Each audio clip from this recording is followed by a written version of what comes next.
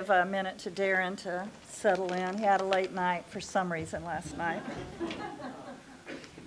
But welcome to all of you to this annual meeting of the North Carolina State Bar Council. We'll call this meeting to order, the reading of the Ethics Act. Warning, members of the council are hereby advised of their duty under the State Government Ethics Act to avoid conflicts of interest and the appearance of conflicts, and are instructed to refrain from participating in any matter coming before the council with respect to which there is a conflict of interest or appearance of conflict. Do we have any to note at this time? Thank you. I'd like to remind all of you that this meeting is being live streamed on our YouTube channel, so please behave. Time, I will call on our Vice President, Marcy Armstrong, to open us with the invocation. That comment was probably directed at me. Um, So um, before we pray, as we are entering this Thanksgiving season, I just want you all to know how much everybody in this room has appreciated all of your service to the bar, um, to the the people of North Carolina. We're just very, very thankful for everyone in this room. If we could pray. Dear God, when we stand at the beginning of a new day, bless us with vision to see the best of things to come, wisdom to make good decisions, and most of all, faith that you are walking with us every step of the way. Amen. I'd like to recognize some of our special guests that are here this morning, some of whom you will hear from later in the meeting. We have our Chief Justice Paul Newby and his assistant Liz Henderson. We have our Bar Association President, John Heil. Can you just wave your hand if you're here? Thank you. And President-elect Clayton Morgan. Hey, Clayton. Kimberly Herrick, Chair of our Board of Law Examiners. Morning, Kimberly. Mary Irvine, Executive Director of IOLTA. We have a couple of our past presidents, Tony di Santi and Bill Davis. Always good to see all of you. And I believe someone told me that um, Todd Brown's sons are here, perhaps? There you are. Thank you. Good to see you. Didn't have enough last night, so glad you're joining us. Welcome to all of you. At this time, I would like to ask Chief Justice Paul Newby to come up and address us. And I also want to say thank you so much for being a part of our installation last night. I appreciated that so much. Morning, everybody. Uh, So uh, first off, uh, I do want to say that Liz Henderson is my general counsel and chief of staff. Thank you, So thank you. that- that- That's great. Um, uh, And also with regard to live streaming, uh, I've been asking for live streaming at the Supreme Court for quite a while, uh, since probably about 2004. But uh, we finally have it. And so when we have court, as we did this week, Monday, Tuesday, Wednesday, uh, you're actually able to just pull it up on your computer on the court's YouTube channel and watch that. And uh, many of y'all are going, why would we do that? Well, I want to tell you, my 97 and a half year old mother says it's her favorite program. And she said, who knew you would ever be on the Hollywood Squares? Uh, I do think it's an access to justice uh, thing, and I appreciate y'all uh, live, live streaming this. So last night, Barbara did such a great job uh, reminding us of the uh, really challenging circumstances of uh, really from February 2020 uh, going through even today. And she said, strong enough. That was her thing. Uh, that uh, somehow we have made it as far as we have uh, with the wheels of justice continuing to turn. Uh, My theme this morning is I appreciate you. Uh, When uh, I got elected, and I thought and prayed, okay, what do we want to do?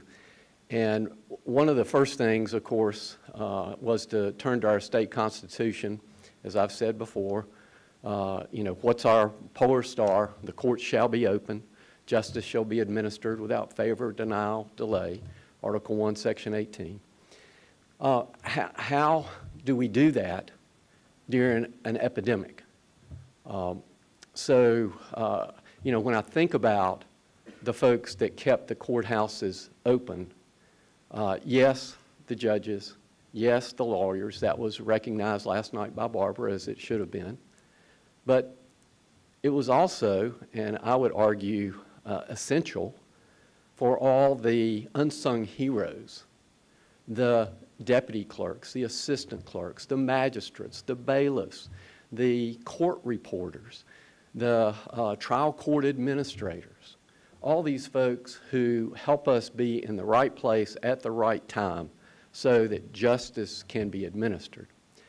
So uh, certainly, my approach has and will continue to be that I want local folks to make decisions about what's best, uh, but also I want to provide protection. So I talked to the governor. I said, Governor, these are essential frontline workers. We have a constitutional mandate.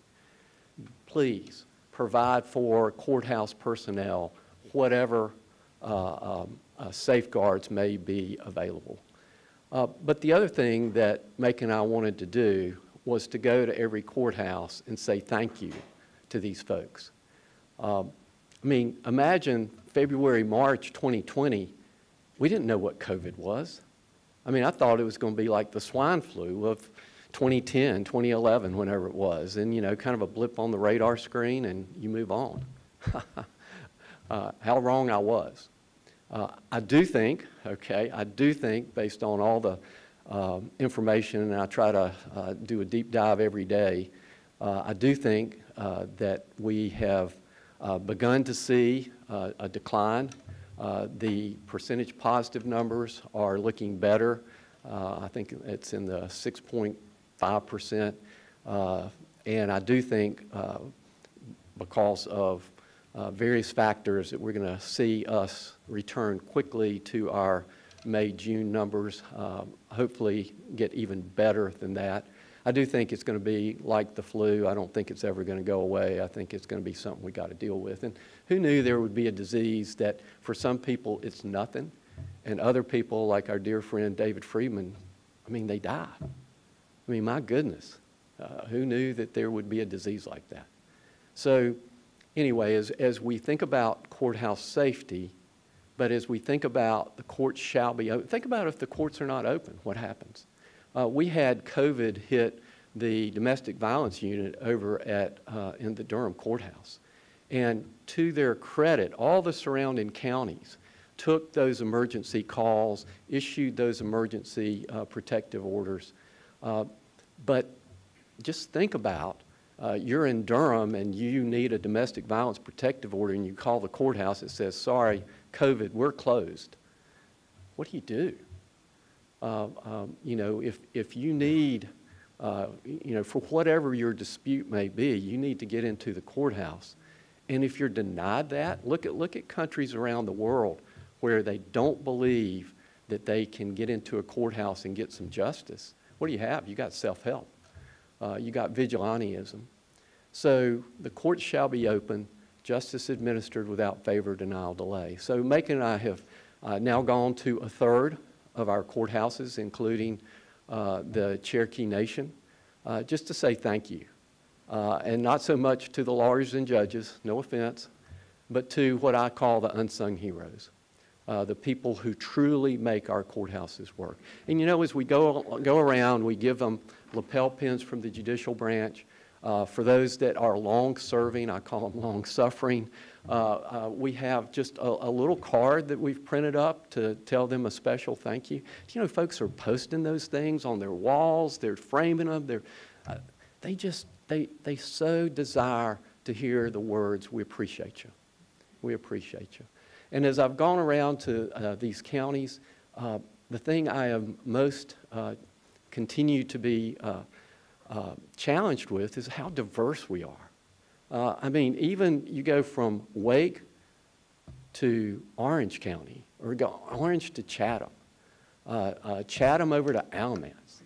Uh, one size does not fit all. uh, the, the practice challenges in each of those courthouses, the courthouse environment, the courthouse families, they're just all different. I had the privilege of starting to practice in the western part of the state, uh, in Asheville, although we covered all of western North Carolina. Uh, and then, of course, I'd grown up in the Piedmont, uh, practiced in the Piedmont, and then the last part of my uh, legal career uh, was in eastern North Carolina, and now I'm a recovering lawyer, right? Isn't that what judges are? We're recovering lawyers. But as I think about uh, all those different experiences, I love the, communi- the uh, community differences that exist. I mean, you go up to the northeast and it's the Hoi Toiders, and uh, you're trying to be sure you're understanding what they're saying. So as a Piedmonter, I was practicing in the Asheville area, and I got a call one day, and this lady says, uh, boy, can you draw up a deed for me? I said, yes, ma'am, I can do that. Uh, I said, I need to know uh, uh, who's going to be given the, the, the property or selling the property. She said, well, that'd be me. I said, all right, that's, that's great. Uh, uh, what's your name? She said, well, my name is Murray Jones. I said, Murray, M-U-R-R-A-Y, Murray. She said, are you educated?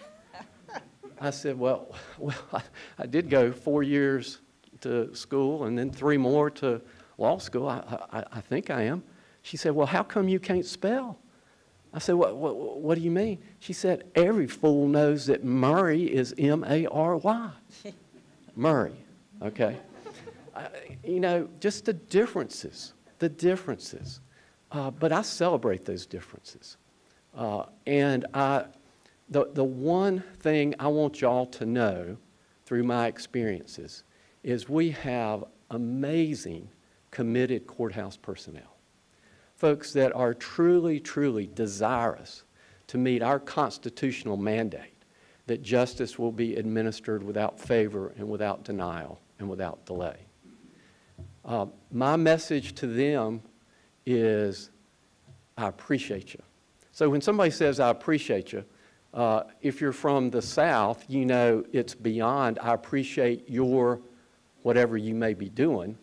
It's much more general. I, I appreciate you.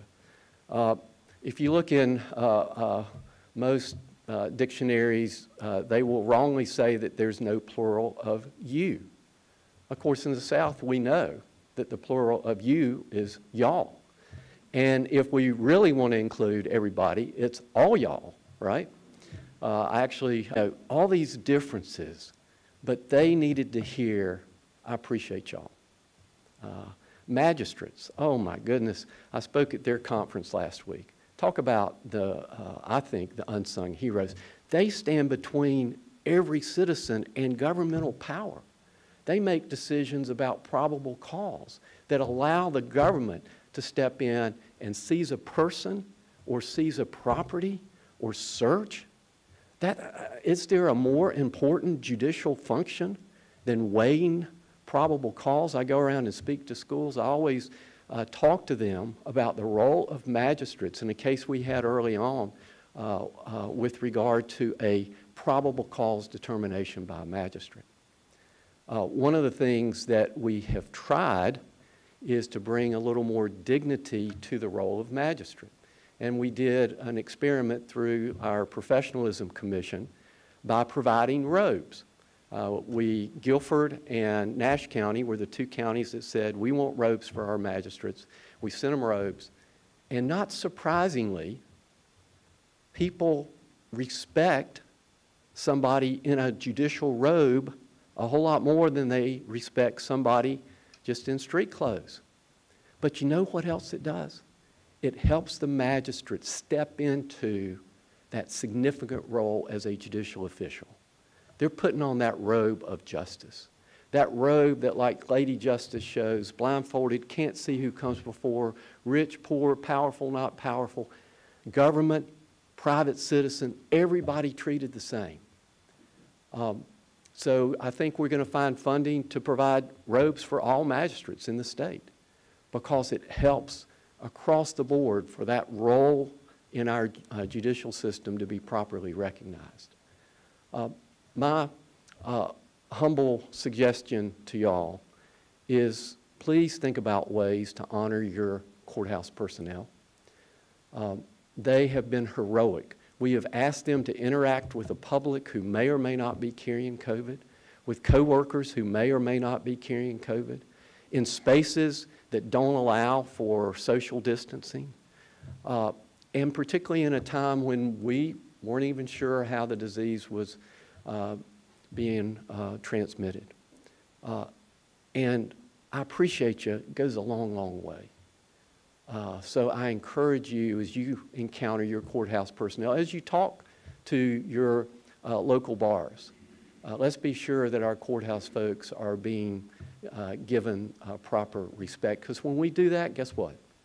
Those long, you know, th- th- those people that are coming in the courthouse, once our courthouse personnel are, feel appreciation, they're going to treat everybody with dignity and respect.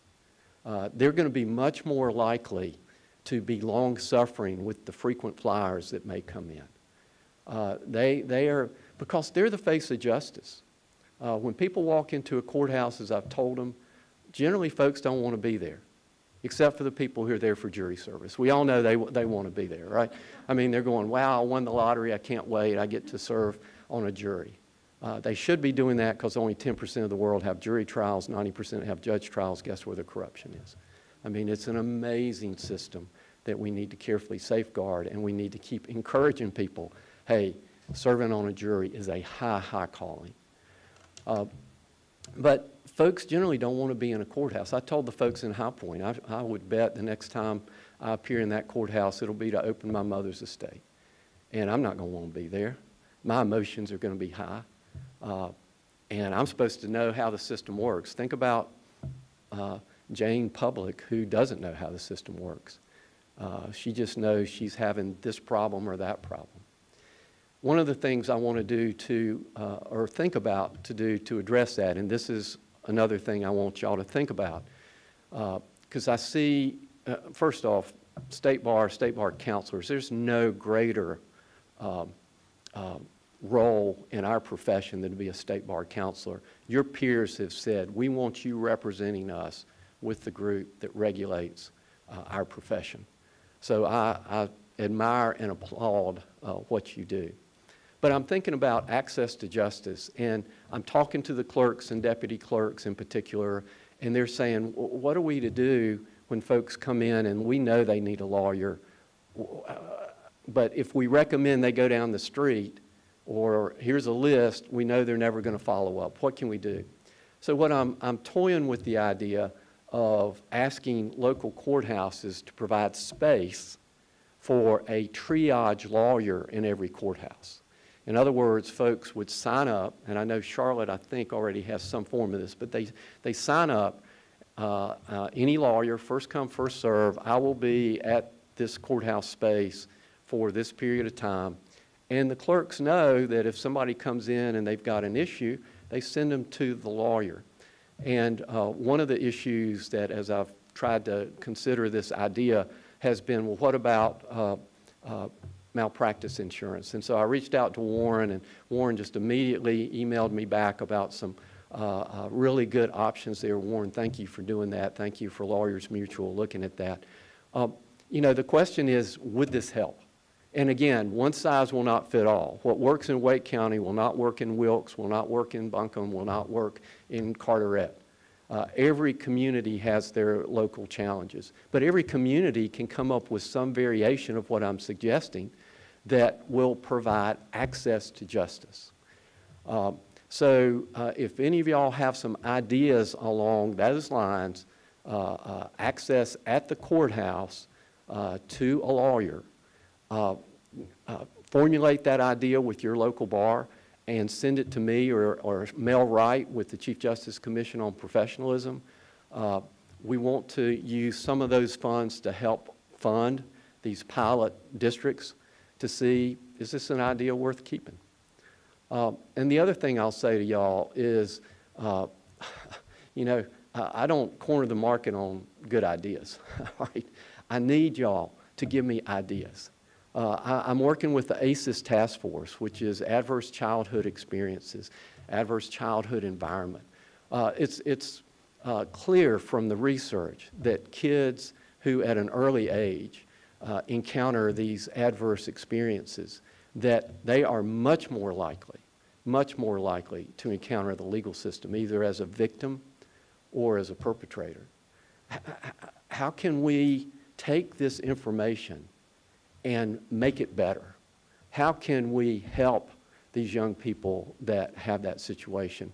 a few years ago, uh, Macon and I had a young man, man living in our home who'd grown up in the projects in uh, Houston. And uh, uh, he was living with us uh, during the summer while he worked at a local law firm. Uh, and uh, I was like, uh, "W- w- are you, are you doing okay? Uh, you know, tell me about things. He goes, "Well, it's so quiet here in your neighborhood. I said, well, well, Joshua, what do you mean? He said, I'm used to going to sleep with gunshots. Uh, he said, he said, Justice Newby, if you stood with me in front of the projects where I grew up, he said, to the left and to the right, my peers are dead. Uh, here I am in law school, and these others are dead. And it struck me, you know, I'm so grateful for the Joshuas, who now he's a very successful bond lawyer. I can't pay his hourly fees in Houston. But, you know, why did Joshua end up the way he did, on the path he did? And to the left and to the right, they didn't. You know, what can we do to try to reach those who aren't as fortunate as a Joshua? So my, my humble request is, as y'all have ideas, let me know. Um, we just want to make it better, better than the way we found it. As Patty's dear husband Alan always said, you got to leave the campsite better. Uh, that's what we're trying to do. Um, I certainly uh, appreciate uh, the state bar members who have partnered with us in our courthouse tours. Uh, uh, in particular, uh, what we do is we ask for, when we do a professionalism seminar, and we're not doing it at all courthouses, we just can't, but uh, we did one recently in Cumberland and did one in Onslow over in Jacksonville. And uh, we recognize uh, some of the real uh, stars of professionalism in your local bars. And uh, as we come to your area, if we do a professionalism luncheon, we will certainly be doing that. Uh, Again, to hold up as an example those who have practiced a significant period of time and have truly exemplified uh, professionalism. Uh, I'm, I'm sure I don't have to tell y'all, we've got challenges in those areas. Uh, we recently adopted a rule uh, which, you know, to me is, is a common sense rule that says if you're going to schedule a hearing, please, please, not please, you must confer with opposing counsel. And we made it mandatory because folks aren't doing it. Uh, that's not the way to practice. I mean, life's tough. Um, in our profession, even before COVID, one third of all new lawyers had a substance abuse issue. Uh, we live in gray. Uh, we, we take other people's problems and put it on our shoulders. Uh, we should be compassionate. We should be caring. But then we've got our other family and other responsibilities. Uh, uh, uh, you know, show some grace is the message. And uh, so that's what we've done there. Uh, We're looking at a rule in the appellate rules to not mandate, but suggest, if you want a very quick response on a motion, tell us what the other side thinks, because that just helps a judicial official make those determinations. Uh, We did say in the rule that failure to do that in the trial court is grounds for denial of your motion to schedule a hearing. And I, I'm not sure that that word has gotten out, so what you can do to spread that word would, uh, would be great. Uh, Again, uh, I just want to say I appreciate y'all. Uh, uh, I, I carry uh, the burden of the judicial branch more than I should. Uh, But when I can look to your leadership, as I know I can, when I can look to y'all and realize it's not just me as the Chief Justice, it's us together, um, it makes me sleep better. So thank you. I appreciate you. And as you have ideas, please let me know.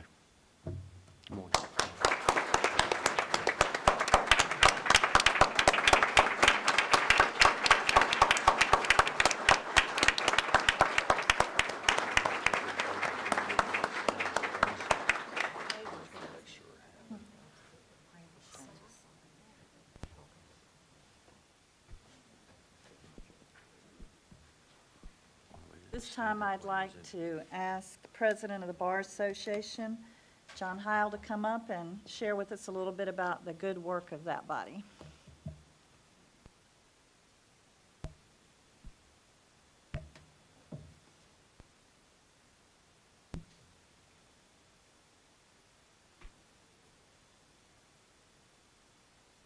Good morning.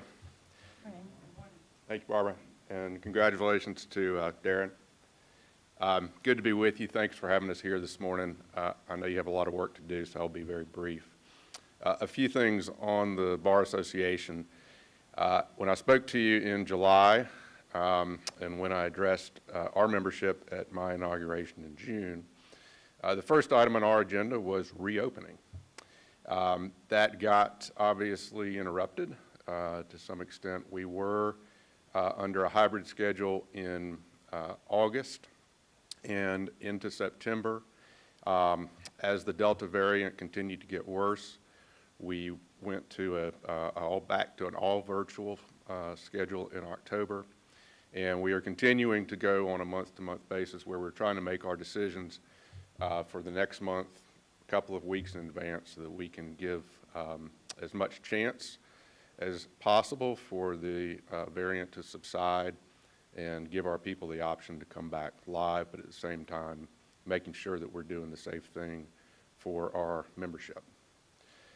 Um, Second point, whatever our format is, our groups continue to do the good work of the Bar Association, our sections, committees, and divisions. Uh, I'd particularly note the Young Lawyers Division, which is always an exemplar on public service uh, and uh, a multitude of pro bono programs, including this year working with our foundation staff to uh, handle the disaster declaration relief in the western part of the state following some of the weather out there. Um, Haywood County and surrounding counties, they're doing great work out there, um, and all the other uh, projects they undertake, as well as all the other projects that our uh, other sections and divisions and committees um, undertake. We, the work of our, third, the work of our task forces um, that arose out of the report on systemic racism that we published last year continues. Uh, We have a task force on the association side and one on the foundation side. Both are actively meeting, both have subcommittees that are actively um, carrying out the charges that were given to them, and we hope to complete that work um, within this bar year by the, by June 30th. Four, just a note on membership. Uh, Our membership numbers are better than they have been in the uh, past two years at this point in time. Uh, Last year, uh, we did see an impact from COVID, and we were on a slightly different schedule. But our numbers this year compare very favorably to two years ago, when we were on the same schedule that we're on now in terms of renewals and drops, uh, and pre-COVID. So we are uh, very pleased about that and um, optimistic that uh, we will continue to be able to grow the numbers uh, of our membership as we go forward.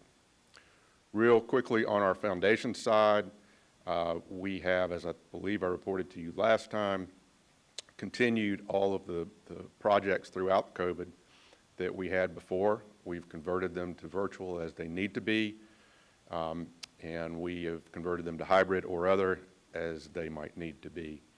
But the Wills for Heroes, um, the NC LEAP program, the Patent Pro Bono program, the Free Legal Answers programs, um, our foundation staff and our volunteers have, uh, again, just been exemplary in how they have managed to, to make it work and continue those programs um, in the face of this adversity.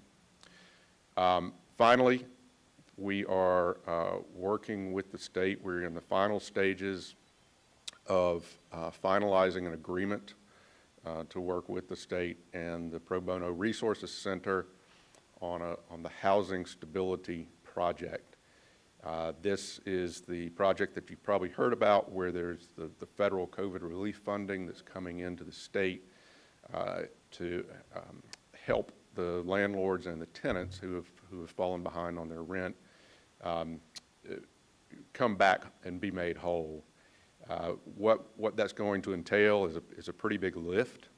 Uh, It's going to be a facilitation program uh, with a lawyer in between the uh, landlord and the tenant, um, trying to uh, secure the best outcomes for the tenants uh, and uh, meeting the needs of the landlords too, who have been, um, who have, who have uh, fallen behind uh, in, in receiving their payments over the course of the pandemic.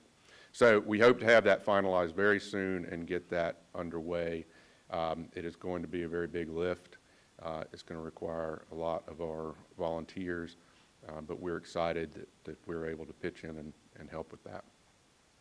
Uh, If there are any questions, I'm happy to address them, and uh, otherwise, good to see you, and thank you for all your work. Thank you so much.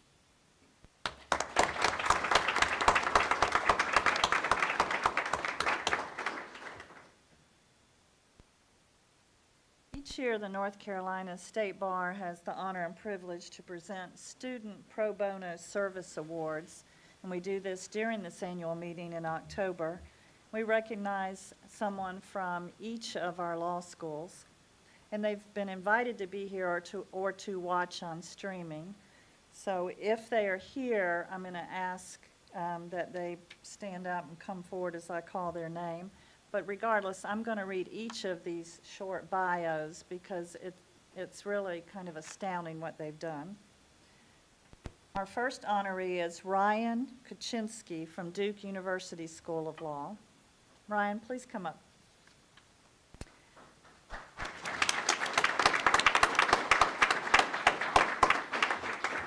Ryan is a May 2021 graduate of Duke Law. While at Duke, Ryan completed over 450 hours of pro bono service, including serving as the active investigations team manager for Duke's Innocence Project and representing clients in Duke Law's Civil Justice Clinic, the Federal Appellate Defender's Office, and the Center for Death Penalty Litigation.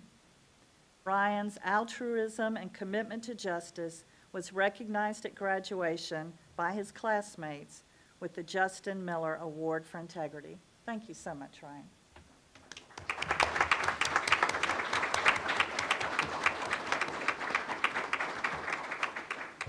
Is Sierra Lagala here? Sierra, please come on up. Thank you. Sierra's a May 2021 graduate of North Carolina Central University School of Law, where she distinguished herself by her contributions to the Durham community and service as a volunteer crisis counselor. Through the Criminal Defense Clinic, Sierra provided numerous hours of pro bono service and received Central Law's Criminal Defense Clinic Award for outstanding performance. Thank you, Sierra.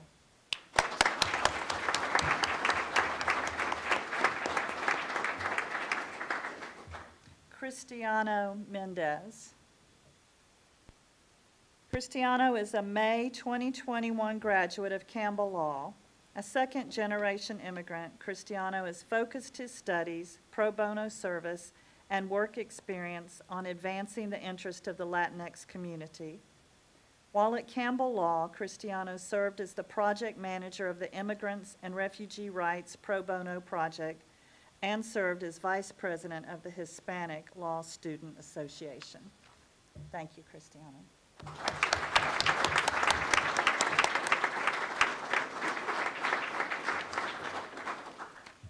I'm not sure that the others are present, but we're going to read them anyway. Chloe Altieri. Chloe is a 2021 UNC Law graduate. At UNC, Chloe was on the pro bono board where she participated in a broad range of pro bono activities, including driver's license restoration and criminal records expunction work. As the director of the pro bono board, Chloe was instrumental in developing systems to transition pro bono work to a remote format during the COVID-19 pandemic. Juliana Kober.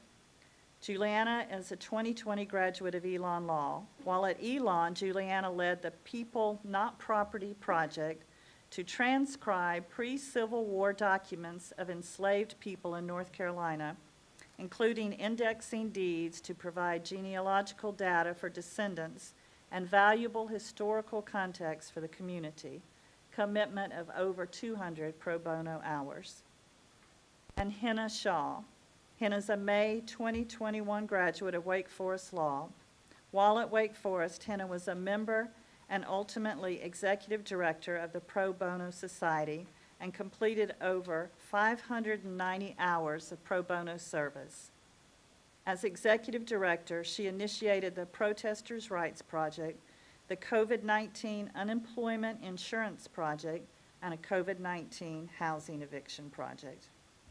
I don't know about you, but reading these stories gives me great hopes for our future as a profession. Let's give them one more round of applause. Thank you.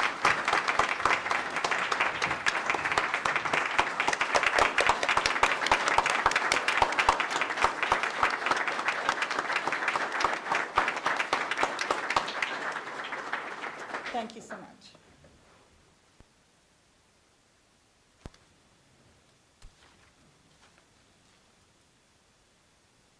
I think most of you are aware that we recently lost our beloved past president, Jim Fox, to a short illness ending in his death. His wife Debbie is here with us this morning, and we're glad that she's been able to be here. And I'd like to ask Jim's friend and partner, and our counselor, Kevin Williams, to come up and share with us a few memories.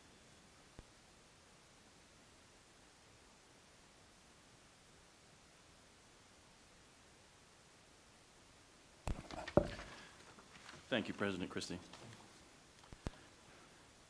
As Chief Justice Newby said a few minutes ago, we lost two tremendous lawyers from Forsyth County this summer. One, David Friedman, and two, my friend, partner, and mentor, James R.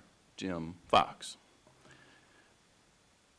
And as uh, President Christy said, Jim's wife Debbie is here today, and she was with us last night. Um, Jim thought of this organization and all of you as his family, as did his wife Debbie. So thank you for the honor and the privilege to spend a few minutes with you this morning talking to you about Jim Fox. And I'd be remiss if I didn't also recognize an additional mentor, friend, and partner of mine, Bill Davis, former State Bar president, who's also with us here today. It was Bill and Jim who came into my office together six years ago and encouraged me to run for State Bar Council for the seat that was being vacated by Gray Wilson.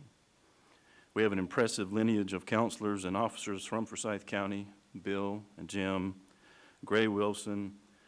I had the privilege of serving my initial term um, along with Judge Mike Robinson, and now I have the privilege of serving with Judge George Cleland. And we both recognize we have big shoes to fill. And if the theme from this week, as it always is, is what a rewarding experience this is, especially as we hear from outgoing counselors, when Jim told me that six years ago, he couldn't have been more prophetic because this is truly a wonderful organization and a family. Jim Fox was born in Bethlehem, North Carolina, in Alexander County in 1946, of modest means. I think Jim had 80 people in his graduating high school class. He went to Duke undergrad, graduated in 1968, and graduated from Duke Law School in 1971. And those seven years at Duke that, George, that Jim spent out of state, as Chief Justice Newby said, were the only questionable decision I ever wondered that Jim had made. Jim didn't have any lawyers in his family or even in his immediate orbit, but he was heavily influenced by the Vietnam War, the Civil Rights Movement, and Watergate. After graduating, Jim spent seven years with the firm Howrey and Simon in Washington, D.C., practicing primarily antitrust and business litigation. He joined my firm, Bell Davis and Pitt, as the fifth lawyer in 1984 when he, he and Debbie married and he moved back to North Carolina. I describe Jim as a lawyer's lawyer, a professional to his core. He had the highest level of integrity. And although he was mild mannered and gentlemanly with his own style, uh, most of the time, Jim had a way of getting things done. For those of you who knew Jim, this description I'm going to give you won't surprise you. And for those of you who may not know Jim, just picture this. Jim's office was like something out of a movie set, like a Hollywood movie set. Mahogany bookcases, leather furniture, books and books and more books and law journals and more books, innumerable plaques and recognition, all neatly framed and all square up on the wall. He had a picture of the Potomac River from Washington, D.C. Jim loved Washington, D.C. And Jim had this Oxford English dictionary that was 10 inches thick, and the words were so small that it literally came with its own magnifying glass, and it sat on its own cart. One of my favorite memories of Jim was this old leather legal pad holder that he had that he carried with him everywhere, and some of you have probably seen him with it. And it was worn and beautiful, and that's what Jim did is that's where Jim did his legal work. I first met Jim in 1996 when I was clerking at Bell Davis and Pitt, and I worked very closely with Jim during the first half of my career. In fact, over the first 10 years of my career, Jim and I tried several cases together, including two five-week trials. And you really get to know somebody when you spend five weeks in trial with them. We shared four legal assistants over the years. Jim had three special traits that I think some of you will recognize. One was his intellect, two was his focus, and three was his dedication to our profession. Jim was an intellectual. He was brilliant. Jim was probably the most well read person I've ever met in my life. He was a perfectionist. If not a lawyer, Jim has told several that he would likely have pursued his PhD in history and taught at the college level. Jim was detail oriented. Jim handled big, complicated cases. One of the cases that I worked on with Jim that ended up in this five week trial literally had the case itself had its own office for the file. Um, and Jim had this book, and it was called literally the Index of Indexes. So we could find the documents and everything, but the, the indexes themselves had to have their own index. The second trait that was remarkable about Jim was his incredible focus. Jim had an uncanny ability to focus for hours on end about whatever it was he was working on. Picture this Jim Fox, dressed to the nines as he always was, with his tie just perfectly in place, shirt sleeves rolled up, that leather binder in his lap, and a fountain pen in his hand, writing for hours and hours and hours in his office, never getting up until he got whatever he was working on, a letter or the brief, just like he wanted it. He's laser focused, and he was looking for just the right word or the right phrase.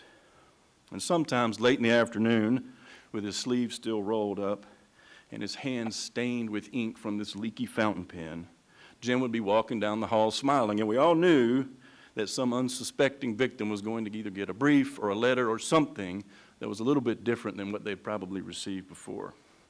To this day, I still write more than most lawyers my age because I learned from Jim. It's a good way to think. I still use a fountain pen from time to time, and I never would have found Crazy Allen's Emporium, which is a pen store in Chapel Hill, but for Jim Fox. Jim was a perfectionist, and although perfection is clearly an unattainable standard, that was always the goal. Jim Fox was never outworked. For Jim, the statement, the pen is mightier than the sword, didn't ring truer. That phrase was coined in, coined in 1839. Jim personified it. Jim handled difficult situations in a very special way. Jim was calm, patient, focused, measured, and methodical. Jim always saw the bigger picture at play. Finally, the dedication to our profession. In a 2015 speech, Jim said, There are no self made men or women. We, are all, we all need help to get where we are today. In 2012, in a State Bar article, Jim said, Making yourself available for mentoring is, in my opinion, the essence of professionalism. I, among others, among many others, are the embodiment of Jim's gifts to our profession. But for Jim Fox and Bill Davis and others, I'm certainly not standing before you here today. Jim joined the Disciplinary Hearing Commission Council in 1995, where he served until 2001, serving as chair of the commission from 1998 to 2001. He was elected as a state bar counselor in 2002, where he served for three terms, was elected in 2011 as our president. And when asked how he wanted to be remembered, Jim said, "For rigorous protection of the public and the rule of law." Jim was also very active in our local bar, most recently serving with Judge Cleland and uh, past President Gray Wilson and others, um, working to have a new courthouse built in Forsyth County that they recently broke ground on. Jim did have a lighter side, and for those of you who have ever seen some of Tom Lunsford's videos featuring James R. Fox, attorney at law, you know what I mean. For those of you who haven't, I'm sure there are some in the archives here. A quote by the noted educator and scholar Roscoe Pound sums up Jim's ideas about professionalism and our profession.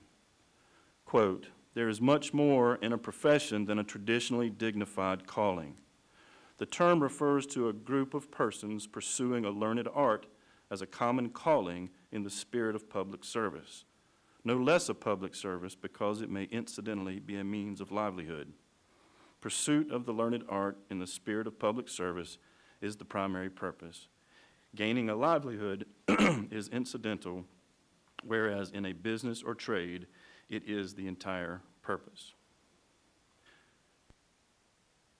To tell you how special this group was to Jim, this was included in his obituary a month or so ago. A great joy and privilege for Jim was his association with the North Carolina State Bar. He made cherished friendships across the state as an elected counselor from the 31st Judicial District, chaired state bar committees, and served as president, and, and recently served, and eventually served as president of the North Carolina State Bar. Simply stated, our profession was Jim Fox's calling. I'm a better lawyer and a better person from having had Jim Fox as a friend. Our profession is better for having had Jim Fox as one of its true champions. And to put it in Chief Justice's, Chief Justice Newby's words, and as my good friend um, Alan Head used to always say, Jim Fox definitely left the campsite better than he found it. If you'll indulge me for just a couple of more minutes, first, I'd like to give this gift from the firm Bell Davis and Pitt to the State Bar Foundation um, on behalf of and in memory of Jim Fox to continue to pursue the mission and the purposes of the North Carolina State Bar.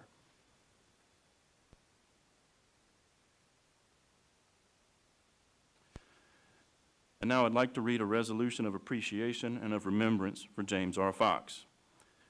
Whereas the North Carolina State Bar Council desires to honor and remember James R. Fox, past president of the North Carolina State Bar, who passed away on August 15, 2021. And whereas Mr. Fox was sworn in as president of the North Carolina State Bar on October 21, 2011, after serving as vice president and president-elect, each for one-year terms, and as the counselor for the 21st, now the 31st Judicial District for three consecutive three-year terms commencing in January 2002, during which time he served on and chaired numerous state bar committees, including as chair of the State Bar Grievance Committee. And whereas Mr. Fox served with distinction on the Disciplinary Hearing Commission as a member in 1995 to 1998 and as chair in 1998 to 2001, and whereas President Fox was a leader of the State Bar of extraordinary honor decency, and commitment to the mission of the State Bar to regulate the legal profession in the best interests of the public. And whereas President Fox sought to live his professional life in accordance with the profession's core values of independence, integrity, the duty to act in the best interests of the client, and confidentiality. And he did so by representing his clients with surpassing skill and devotion, and by dedicating himself to the profession and to the mentoring of young lawyers serving thereby as a model of professionalism and service to innumerable members of the bar. And whereas President Fox faithfully and diligently discharged his duties as a president of the State Bar and led the North Carolina State Bar with a remarkably sure and even hand, bringing to bear in every instance his enormous legal talent. And whereas President Fox was widely appreciated as a serious man, but never took himself too seriously, allowing himself to be lampooned numerous times as James R. Fox, attorney at law, the avaricious anti-hero of several state bar presidential video roasts. And whereas those who had the pleasure of working with Jim invariably and inevitably were touched and impressed by his modesty, his sense of perspective and proportion, and his good humor, qualities that made him a great leader. Now therefore, be it resolved that the Council of the North Carolina State Bar does hereby publicly and with deep appreciation acknowledge and remember James R. Fox, a lawyer's lawyer, and a true example of personal service and dedication to the principles of integrity, trust, honesty, and fidelity. Be it further resolved that a copy of this resolution be made a part of the minutes of the annual meeting of the North Carolina State Bar, and that a copy of this resolution be delivered to the family of President Fox.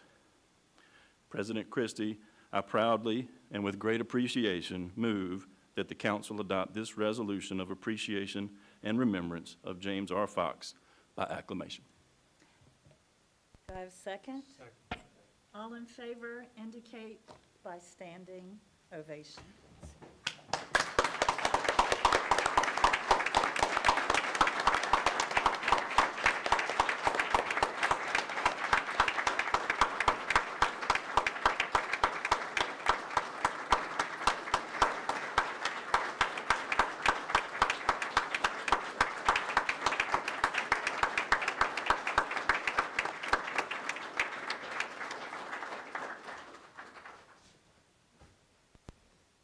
Kevin. Thank you, Debbie. And we will have that framed, and a copy will be presented to the Fox family. At This time, I want to recognize our retiring counselors. And if you are here, I'm just going to ask that you just walk up front as I call your name, just so we can get a quick picture and um, tell you goodbye. Charles Roundtree District 8. Branny Vickery, retiring from District 9. Fred Morlock, retiring from District 10. Ted Edwards, retiring from District 10. Bill Mills, retiring from District 16. William Fields, retiring from District 19. Tom Anderson, retiring from District 23. Mark Enriquez, retiring from District 26. A. Todd Brown, retiring from District 26. Gerald R. Collins Jr., retiring from District 43. So when Todd gets up here, let's recognize the service of these fine folks. And we won't say goodbye, but till we see you again.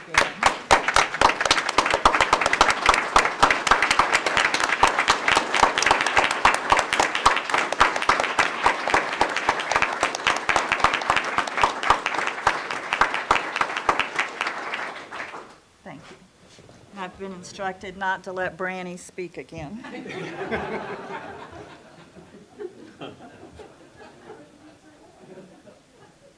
You have in your materials the written reports from several of our boards. We do have a couple of presentations that we'd like to hear from today. And first, I'd like to call on Kimberly Herrick from our Chair of our Board of Law Examiners. And uh, when you speak of unsung heroes, the Board of Law Examiners is certainly a good example of that. Good morning. Thank you very much. Sorry about that. Uh, And I I would like to say, um, I did not know Mr. Fox, but uh, Mr. Williams, that was a beautiful tribute, and thank you for that. Um, You've received a copy of our report. I came because I felt it was important to um, kind of give a little bit of information that's not in here. Our last two bar exams, we gave full uniform bar exams, as we promised, and the last two were remote. And I don't know that anybody in here has had occasion to take a remotely proctored exam. It kind of sounds like a nice, relaxing, you know, situation in your pajamas. Well, I'll tell you, it is anything but. If you come across any of these recently licensed uh, new attorneys that have taken a remote bar, just give them a pat on the back. I was honestly, I was in the, uh, the command center during the bar exam, and um, we will be going back to in-person bar exam with all protocols in place, and that is really good news. So, um, as far as the bar exam goes, uh, we did allow applicants to transfer without penalty if they didn't wish to take it remotely. The February exam, we gave to 435 applicants, which was down a little bit from uh, previous years. I think maybe people were a little uneasy about taking the bar exam remotely. Well, that exam went really well, went uh, very smoothly. So our July exam was 817 applicants. Well, um, that exam went so well, we ended up kicking two points off our passing score, if that's any indication. Uh, we had technical issues uh, that we got resolved, but we just felt like that was the way to, um, if there's any way to, you know, address the situation. Our passage rates were similar to passage rates of previous years, being 60% in February and approximately 75% in July. Uh, We are and continue to be uh, among, if not the first state, to release bar examination results, which we did this year on September 14th. Uh, We typically release them around the beginning of September. So it sounds like only two weeks, but I'm sure for those who are waiting to hear, that was an eternity. The good thing is they are now released into their secure portal accounts immediately rather than receiving them in the mail. Um, so they don't have the opportunity for their um, mother to receive their results and prank them on the phone. Not that I would know anything about that, so.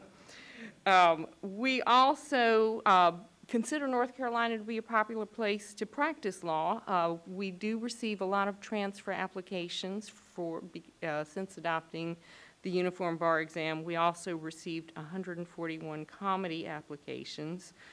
And we were able, uh, through our processes, to significantly reduce the amount of time between application and um, the receipt of a license. And um, most members of the Board of Law Examiners spend about 20, uh, 35, I'm sorry, to 45 days a year um, devoted to the service. Uh, But we consider the, um, the function that we serve to be really important to the, the practice of law. And we all um, take it very seriously, and we, we meet a lot of people and, and get to, you know, have a lot of hands-on. We, we also, in addition to the bar, handle uh, character and fitness for everybody who is applying through exam, through transfer, and through comity. And um, we are constantly looking at our techniques and trying to get better at assessing who we believe has the uh, character and fitness to practice law in the state of North Carolina.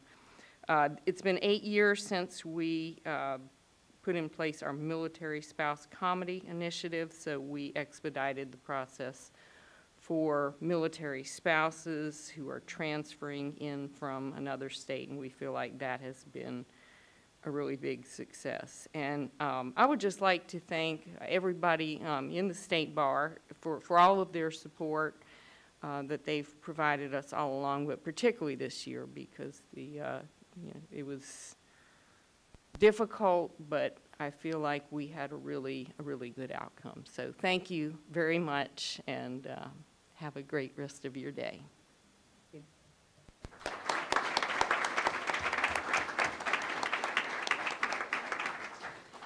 Please express our appreciation to the entire board. Um, I'd like to ask Mary Irvine, Executive Director of IOLTA, to come up and speak with us.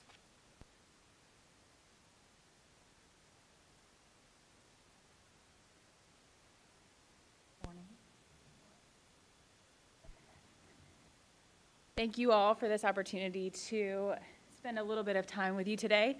Um, it's been a pleasure to see all of you. I haven't um, seen so many of you in a long time, so it's great to see you. My name is Mary Irvine. I'm the executive director for the North Carolina IOLTA program, Interest on Lawyers' Trust Accounts, which is a program here at the State Bar. Um, you have a report in your materials from us as we um, provide each quarter, but I do want to take just a few minutes this morning to specifically talk about our strategic plan, which was just approved this summer.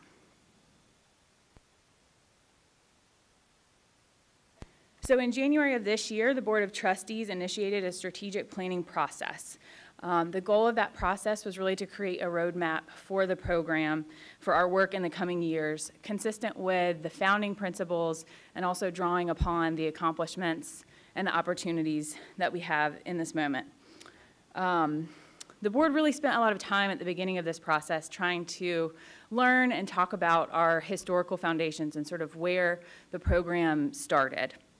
North Carolina IOLTA was created in 1983 at a time that states across the country were developing these programs to use the interest on lawyers' trust accounts to support civil legal services and other types of access to justice.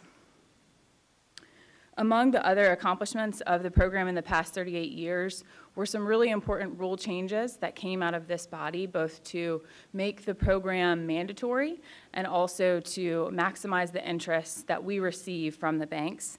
Both rule changes which I think helped to position the program to grow and to make a bigger impact. So this strategic planning process kicked off with um, facilitated meetings with the executive committee as well as the board um, and included 19 stakeholder interviews. We also hosted a community forum once we had a draft plan in place to get feedback from stakeholders on that draft plan. And then, like I said, this summer, um, the board did approve the plan, and we are now excited to share that um, with stakeholders and with all of you. As part of the process, IOLTA affirmed the vision that we are working towards, which is a North Carolina where all people can effectively meet their legal needs. We're working towards this vision with the mission of improving the lives of North Carolinians by strengthening the justice system as a leader, partner, and funder.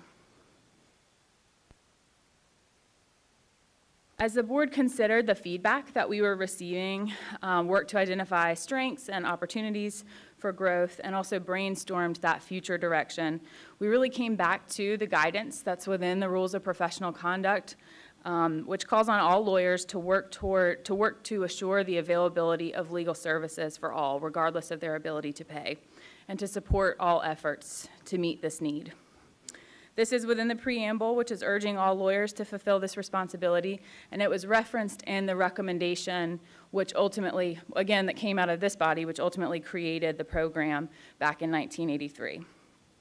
You all are familiar with this work, serving on commissions and committees and the council, um, doing pro bono back in your districts, um, mentoring young attorneys and really encouraging them also to find ways to give back. Um, and we like to think and we like to share with folks that this is another way that you all are supporting access to justice as well by complying with the rules of the IOLTA program, um, establishing IOLTA accounts properly. It helps us to operate our program.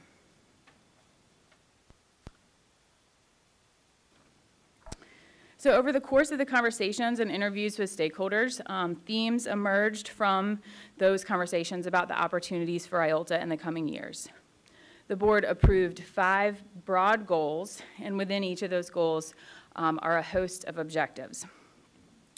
Goal one is to be a responsive and responsible grant maker that engages in effective stewardship of funds.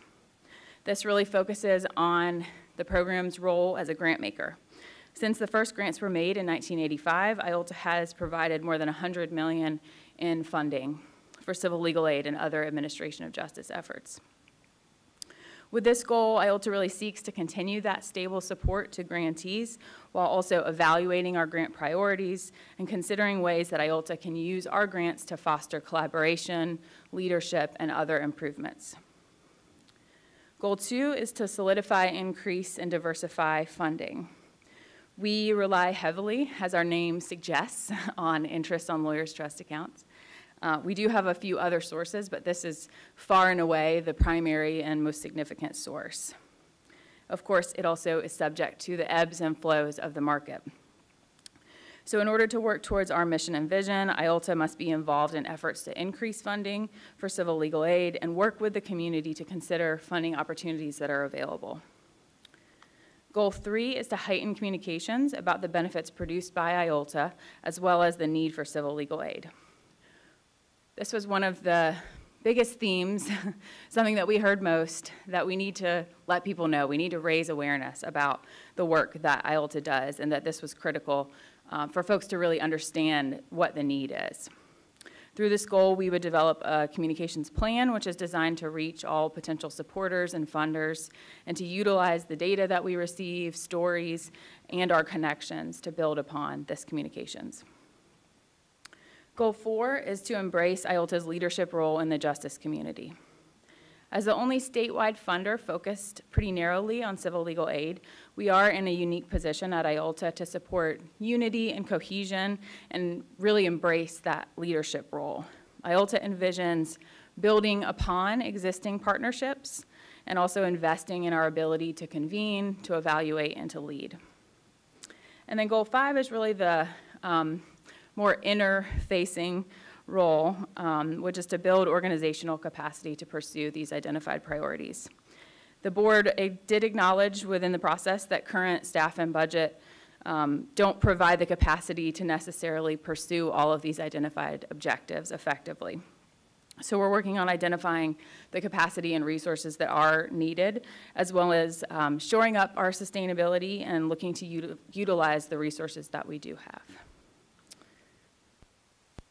that's it. We look forward to continuing to connect with all of you, particularly in the ways that these goals really intersect with the work that you all are doing. Um, in the materials is just a one-pager of the plan, but the full strategic plan can be found on our website.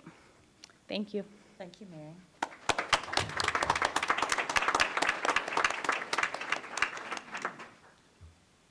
Our next item is our report from General Counsel Katherine Jean, and and although I expect your usual lengthy report, Katherine, I, I would like to ask you to just step up here because in addition to your report, I thought maybe you might share with us a little bit about um, a, a retirement in the Office of Counsel and perhaps about a new hire. Because when we meet again in January, there'll be some different faces. Yes, ma'am. Thank you very much. Good morning, everyone. Um, yeah, it is with a great uh, sadness that I have to announce that Margaret Cloutier, who has been in the Office of Counsel since 2004, is retiring at the end of the year. Uh, Margaret is um, beloved by everyone in the Office of Counsel. She's the she's endlessly patient. Everyone goes to her for her her ideas, her uh, buy-in when they're uh, trying to decide how to proceed in a case. She has a lot of time to help everyone else, and we're all devastated at the thought of losing her, but we also recognize that she's been working a long time and she deserves this opportunity. So um, that will be a big change for us. Um, we have uh, hired two new lawyers who are here today. Um, we have Tom Crosby. Um, he came to us just a few weeks ago from the U.S. Attorney's Office in Raleigh, um, where he's been prosecuting mostly gang crimes. And we have Kelly DeAngelis, who I think is right there, behind him. And she's been with us for about two months. And she came to us from the Wake County uh, Public Defender's Office. And they're both already doing a great job. I have absolutely uh, 100% confidence we've hired the right people. We're real excited to have them. And we have recently, two days ago, um, hired another lawyer who will start with us on January the 3rd and her name is Tessa Hale. So we're also very excited about her. We've had a lot of changes in the Office of Counsel because we've had a lot of retirements in the Office of Counsel. So we're losing a lot of institutional knowledge and experience, but I think we've got the right people on board. So, um, you have in your materials a report of the activities of the Office of Counsel for the previous quarter, and I'd be happy to answer any questions you might have. Thank you. Thank you. Thank you, ma'am.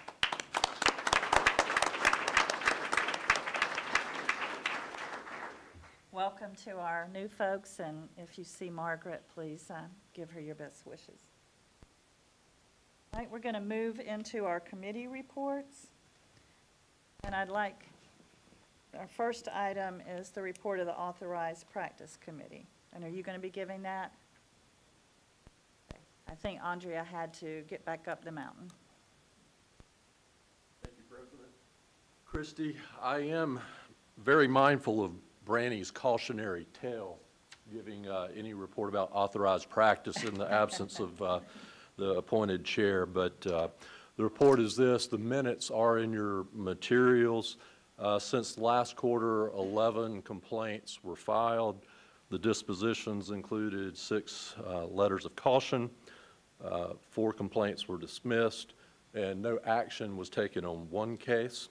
Uh, The prepaid legal plans were registered, and no action is needed by this body. All right, any questions for Bobby? Thank you very much. Thank you all.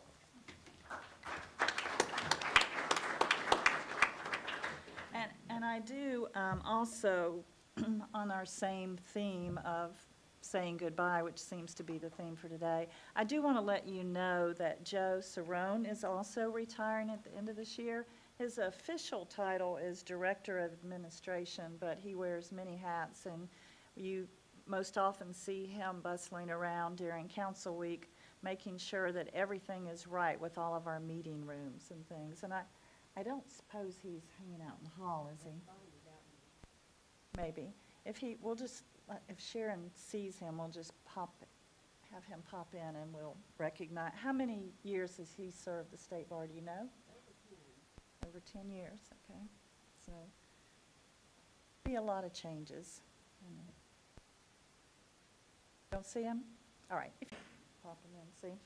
We will at this point take up the report of the executive committee. And our first item is approval of the minutes of the council's meeting. It was held on July 16th, 2021. Those were posted on SharePoint. Do I have a motion to approve? Second? Any questions? All in favor, say aye. Those opposed? Thank you very much. And I will turn it over to Darrin for the report from Finance and Audit. Finance and Audit uh, Committee met, um, and the first item of business is the third quarter financial statements. Indicated to the uh, Executive Committee yesterday that uh, President Christy was so anxious to get out of uh, office that we moved this uh, quarterly meeting to the first of October instead of, instead of the end of October, so she could become a past president, which she glowed over at the past president's meeting this morning. Um, So the, the whole crux of that is the fact that the financial statements have not been prepared because the bank statements for September have not come in to be, uh, to be looked at.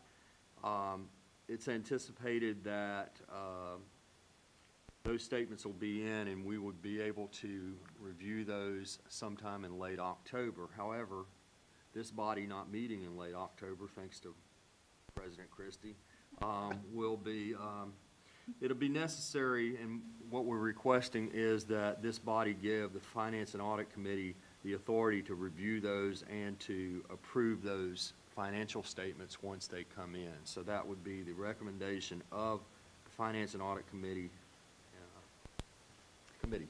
That Being the motion from the committee requires no second. All in favor, say aye. Those opposed? Thank you. Joe, would you just come up here for just a moment, please? Oh, We you're in just- trouble now. Yes, you were, you're in trouble now. We just wanted to take a moment to say how much we appreciate all that you do and all your work, and to say that we hope that you enjoy your retirement. I'm sure it's much deserved, and again, just to say thank you. Thank you,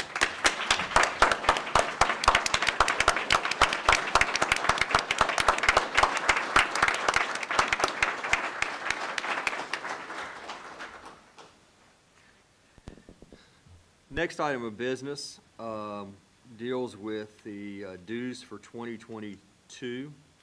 Um, Each year, the council must set the amount of the annual membership due, uh, dues.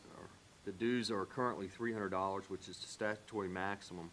Finance and Audit Committee uh, is expected to recommend, or is recommending at this point in time that those dues be set at $300 for 2022.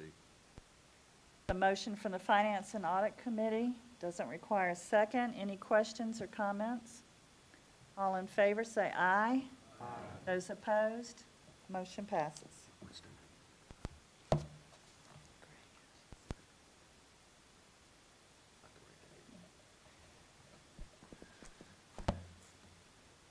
We also took up the appointment of a new trustee for the pension plan. Uh, As you guys recall, John Dorsey uh, resigned and was honored on Wednesday evening for his longtime service to uh, the pension plan. Um, And we took up the appointment of a replacement. It was recommended to us after some uh, investigation by uh, Alice uh, that Gray Hutchinson be appointed. Uh, He is willing to serve, um, and we would recommend that his appointment be approved by this council. Gray Hutchinson. It's motion from Finance and Audit Committee. Any questions? All in favor, say aye. Aye. Those opposed, motion passes. The Next item deals with the restatement of the state bar uh, money purchase pension plan. This is the pension plan for the employees of the state bar. Um, Alice, do you want to talk about that a little bit, since you're the pro of it? I would be glad to. Um, uh, We're required to restate our plan by the IRS. We're periodically for accomplishing that. And at the same time, we uh, converted to a government plan as opposed to, it has some benefits in eliminating, like uh, reducing our plan. Um, We've also taken some steps to um, limit some of the financial obligation. um, uh, One, one thing that's to note is when you make this conversion to a government plan, you go from a document that's close to 100 pages to a document that's more like 50. Um, So we think that is a, a good thing. I go into more. No, I don't think so.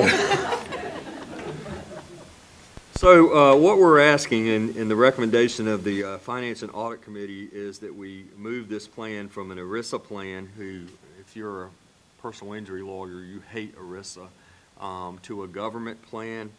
Um, Let's see, I believe that at this point in time, that's all we're asking for is those modifications. That would be the recommendation. Approval of the restated plan. So we have a motion to approve the restated plan that does not require a second. Any questions? All in favor say aye. Those opposed, motion passes. Part of being a trustee of that pension plan is it comes with a great deal of potential liability. Um, and that's why, uh, Mr. Dorsey's, uh, service was so exemplar, is he took on a lot of personal liability, potential liability over those years that he was on, uh, on the trustees. Um, At this point in time, because we have changed the, uh, the plan from an ERISA plan to a government plan, uh, this uh, indemnity agreement that we have for the trustees uh, for their liability, potential liability, uh, needs to be restated or or amended to indicate it is now a government plan an ERISA. And also, we need at this point in time uh, to add Mr. Hutchinson's name to that indemnity agreement and take Mr. Dorsey's name off of it. Um, So that would be the recommendation of the Finance and Audit Committee. If you want Alice to explain that, we can let her do that, too. I think you've done it great. So that motion is before you. Any questions, comments? All in favor say aye. aye. Those opposed, motion passes. The last item for the Finance and Audit Committee deals with the Client Security Fund. Um, That usually gets set when the financial statements come in. Obviously, they haven't come in at this point in time. Um, They're usually set, or they have been set at twenty-five dollars, but they've also been set as much as fifty dollars. Um, We anticipate that those, uh, uh, that fee would be, a- we would be able to set that fee sometime after the financials come in late October. Finance and Audit Committee is asking for your approval to allow the Finance and Audit Committee to make, to approve those, uh, that amount of money that we're going to be recommending for that client security fund. That's our recommendation. Any questions, comments? All in favor, say aye. Those opposed? Thank you, motion passes. Our next item is sort of an administrative item, and that is to set our meeting dates for the council for 2022. Um, As this affects your lives, you might want to make note of it or make sure it's in your materials. Those proposed dates, January 18 through 21, April 19 through 22, July 19 through 22, and that meeting will be in Wilmington, October 18 through 21. I certainly hope all those meetings will be live and in person. Do we have a motion to approve those dates? Second? All in favor? Aye. Those opposed? Darrin, I'll ask you to give us the report of the Appointments Committee. The Appointments Committee took up uh, a couple of appointments. We also took up a matter where we appointed Stephanie Davis back in April of this year at the quarterly meeting to the Disciplinary Hearing Commission for an additional uh, term on the uh, Disciplinary Hearing Commission. Um, At the time, we gave her a three-year term as vice chair of the commission, starting July 1st of 2021. It's been discovered that Ms. Davis is in her second term of service with, uh, uh, and she's only eligible to serve as vice chair for two years, expiring on June 30th of 2023 instead of June 30th of 2024, as indicated in April. Um, So it's our recommendation at this time that we uh, amend her appointment to indicate that her service uh, will expire as of June 30th of 2023. Any questions or comments? All in favor, say aye. Those opposed? Thank you, motion passes. The uh, next matter is the Client Security Fund Board of Trustees. There's one appointment to be made. Uh, W. Irvin, Irwin Fuller Jr. uh, is not eligible for reappointment.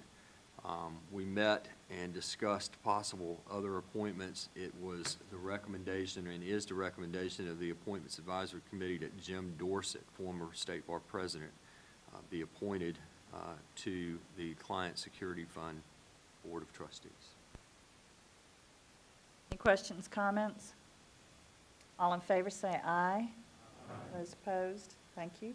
Mr. Fuller was the uh, chair, um, and the rules governing the Client Security Fund Board of Trustees require the council to appoint board chairs and vice chairs annually. And since Mr. Fuller has, is ineligible for reappointment, uh, presently, uh, L. Thomas Lunsford II, who was here last night, is vice chair. Mr. Fuller recommends that Mr. Lunsford be appointed chair, consistent with the board's usual practice, and that is the longest, the the individual, the attorney who has been on that board longest uh, usually elevates to the uh, board chair, and Mr. Lunsford meets that qualification. We also recommend that Amy Richardson, who is uh, the second longest uh, member of that uh, trustee board uh, be appointed vice chair. That's a recommendation of the Appointments Advisory Committee. Any questions or comments? All in favor, say aye. Those opposed? Thank you. Uh, The next board is the Board of Continuing Legal Education. There are three appointments to be made. Two of those appoint, um, of, in, two of those spots are presently, uh, there are folks who are eligible for reappointment. That's Adrian Blocker and Lee Ann Kane. Um, We are recommending Adrian Blocker and Lee Ann Kane be reappointed to those positions. Not eligible for reappointment was George Jenkins Jr., who was uh, formerly of this body of counselors.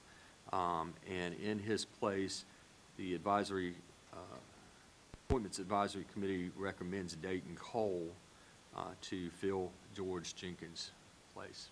That would be our recommendation. Any questions? Okay, all in favor, say aye. Those opposed? And as is the case in the last time, um, George Jenkins was the chair, and now that he is no longer eligible for reappointment, uh, it's up to the, uh, this body to appoint a chair and vice chair, uh, which we do annually. Uh, It is recommended at this point in time by the Appointments Advisory Committee that you appoint uh, Elizabeth Keever, who I believe is a former judge out of Cumberland County, as chair and vice chair Adrian Blocker, who we just reappointed to this committee. That would be our recommendation. Any questions? All in favor, say aye. Those opposed? Thank you. Uh, We took up the issue of the Board of Paralegal Certification. There's three appointments to be made. Uh, Matt Smith and Benita Angel Gwen Powell are eligible for reappointment. Uh, It's the recommendation uh, of the Appointments Advisory Committee uh, that we reappoint Matt Smith and Bonita Angel Gwen Powell to that appointment. We also have an appoint, uh, an individual, Patty Clapper, who is the paralegal member of this board. Um, And it is our recommendation, she is not eligible for reappointment. It's our recommendation that S.M. Canodal Hodges be appointed, who is a paralegal, I think, in Charlotte. That would be our recommendation. Thank you. Any questions or comments? All in favor, say aye. Aye. Those opposed? None. Thank you. We also uh, annually appoint the chair and the vice chair. Warren Hodges is currently the chair, and Brian G. Scott is serving as vice chair. It's our recommendation that those two individuals be reappointed to chair and vice chair. Comments? All in favor, say aye. Those opposed? All right. The last matter that we uh, took up is the Board of Law Examiners. There are three appointments. Ron Baker, Calvin Murphy, and Ronald Gibson are all eligible for reappointment, and it is the recommendation of our committee that they be reappointed uh, to the Board of Law Examiners. Questions? All in favor, say aye. Those opposed? That would be our business. Thank you. Next item on our agenda, um, and I'm going to just include it in executive, although it's sort of an ethics item, would be that it's a motion from the Ethics Committee that we publish for comment a proposed amendment to the rule, Rule 1.01, adding a new comment which states, again, the motion is that this be published for comment. Coming from a committee that doesn't need a second, are there any questions or comments? All in favor, say aye. Those opposed? Thank you. We had um, amendments to the standards for certification in criminal law. Those were published after the July meeting, and no negative comments were received. So do I have a motion to adopt those and transmit them to the court for approval? Second? Any questions about those? All in favor say aye. Any opposed? Um, I'm going to ask at this time Katherine Jean to come back up. Give us a report concerning pending litigation and also to speak to us about um, a mat, a special matter on our agenda.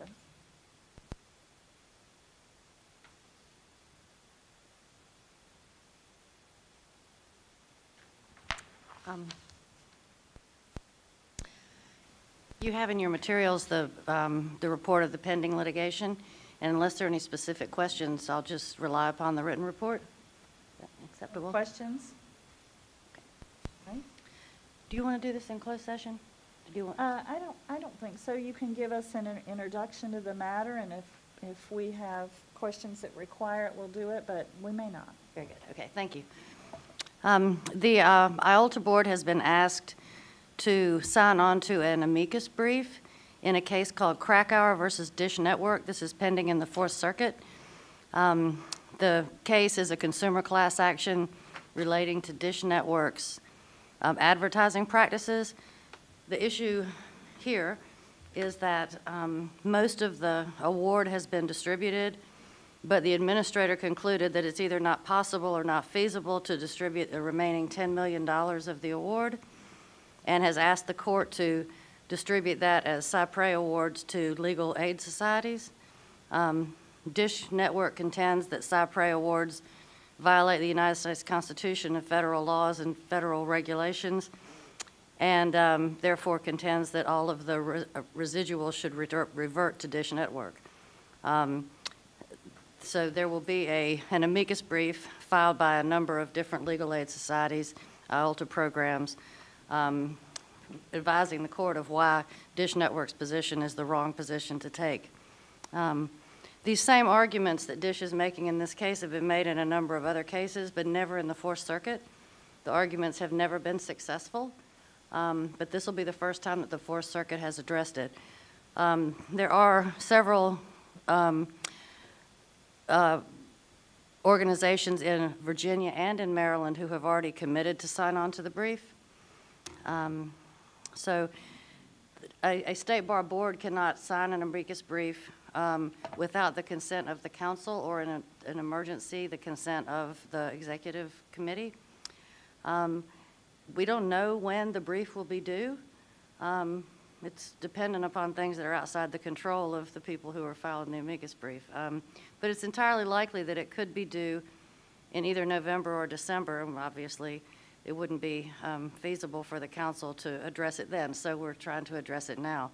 Um, uh, The brief will be written by a law firm, uh, lawyers at a firm called McDermott, Will, and Emery. This is a very large and incredible firm that does very high-quality work. Um, They've written amicus briefs on this subject in the past. I've read one of those briefs. It's very high quality, and it doesn't contain any inappropriate or unduly provocative information that we wouldn't want to be associated with. Um, So, um, because the brief is not yet in existence, I can't read it now and recommend it to you. But um, the suggestion that I have here is that um, y'all uh, um, authorize me to read the brief when it becomes available and give my opinion to the officers as to whether this is an appropriate brief and doesn't contain any ideological or political content that's inappropriate and that it's of a quality that we could sign on to, and then um, that the officers would make the decision when the opportunity presents itself. I've looked into the issue of whether there's really any risk to doing this or any reason not to do it, and it's my opinion that there is virtually no risk. I mean, anytime you do anything, there's some risk that somebody will sue you, whether they have any basis to do that or not. But um, the case law that is out there talking about um, the purposes of state bars and their expenditure of funds and their use of their name and uh, to promote certain causes clearly indicates that um, advancement of the improvement of administration of justice and access to justice are appropriate topics for the expenditure of funds and for the um, association of a state bar. So I don't think that there's a significant risk. Anytime, um, you know, if someone should sue, we would incur some expense to do that, uh, to defend that, but I also don't think there's very much chance anybody would sue because there are no funds uh, being expended here. This is all pro bono work by this law firm, so there is no expense. Now, That's my recommendation. Thank you, Katherine.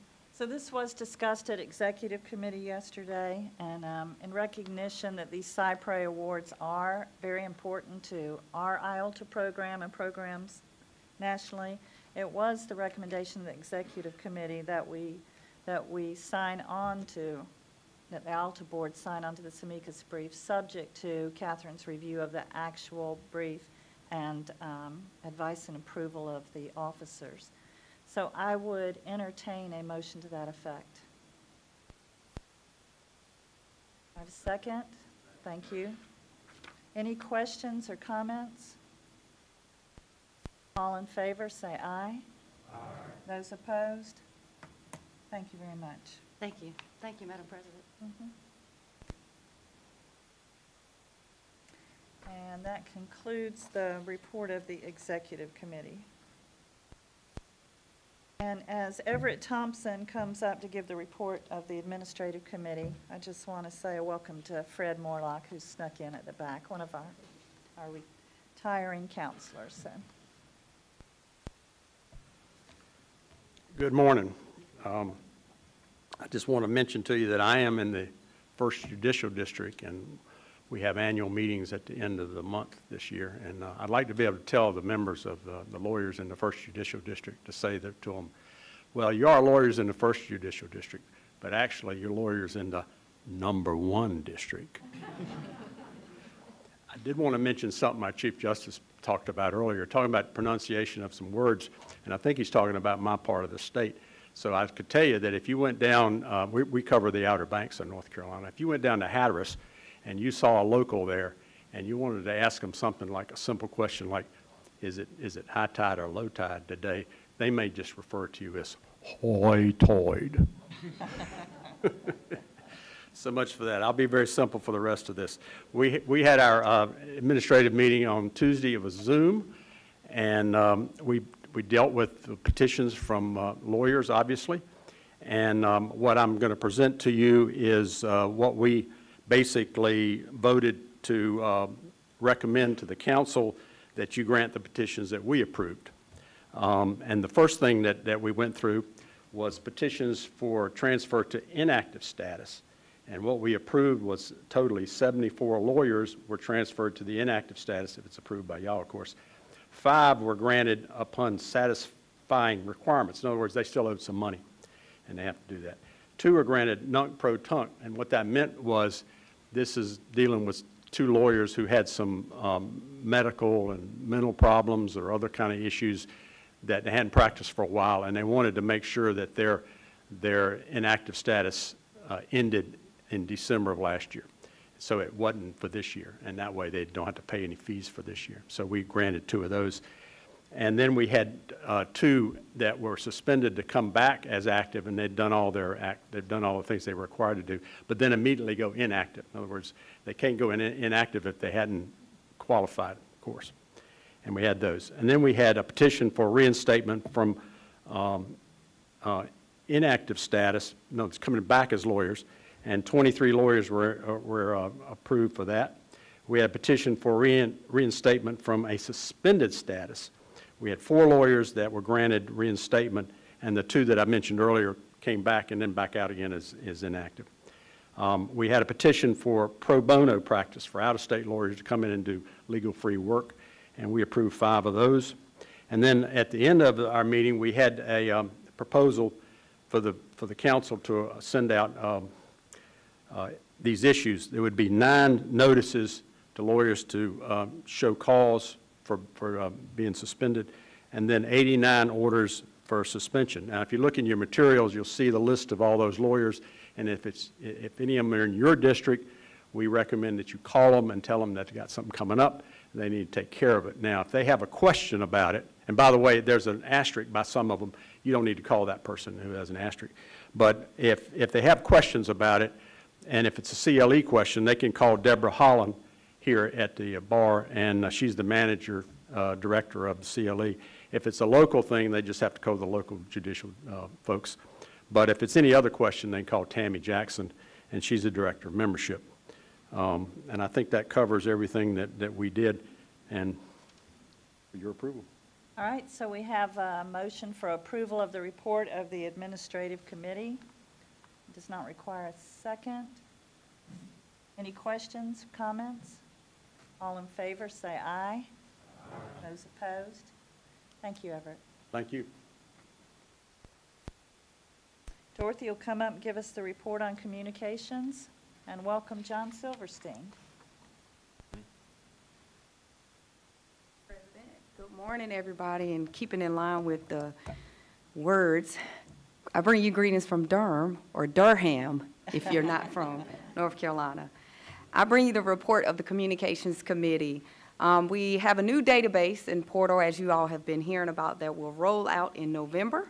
Um, All the information that members have already in, in the database that we, or the portal that we have right now will migrate over to the new database. So it should be pretty easy for folks. But when that happens, we will have a good rollout plan for advertising. And so we need you all's help getting the word out to your different districts and the members there that that new portal will come out. And so we have some plans for some of our staff and people to go out to the different districts and do some presentations to let everybody know how that will work.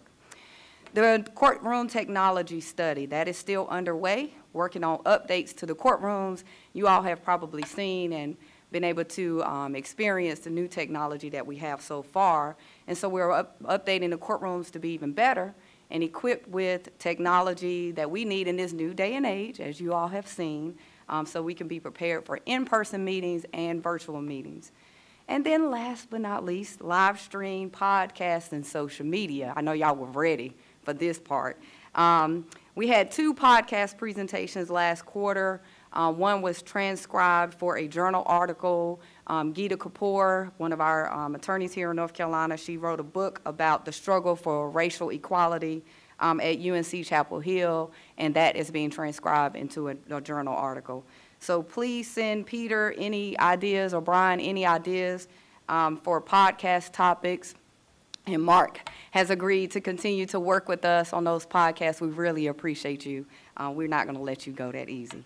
Um, so if you have any ideas, please give them those ideas. We would love to hear from you. And if you would like to participate in the podcast presentation, please consider doing so. And then social media. Y'all ready? I need drum roll. All right, so we are up to 2,000. Did we get any more as of recently, Peter? 2,000 Twitter followers. Woohoo! All right.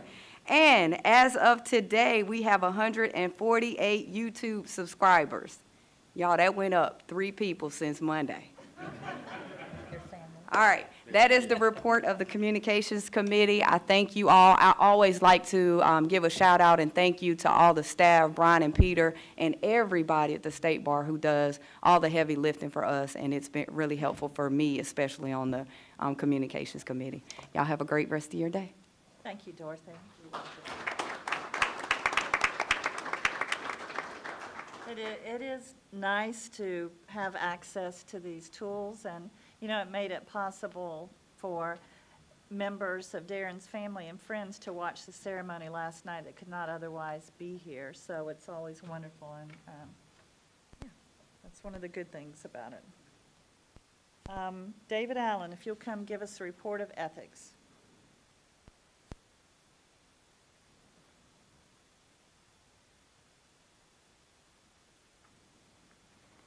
Thank you, Madam President.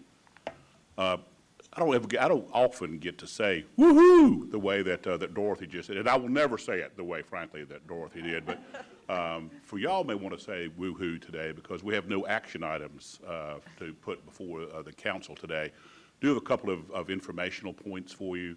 Um, we the, the uh, uh, random audits uh, this year, excuse me, this quarter were for, were for Mecklenburg County.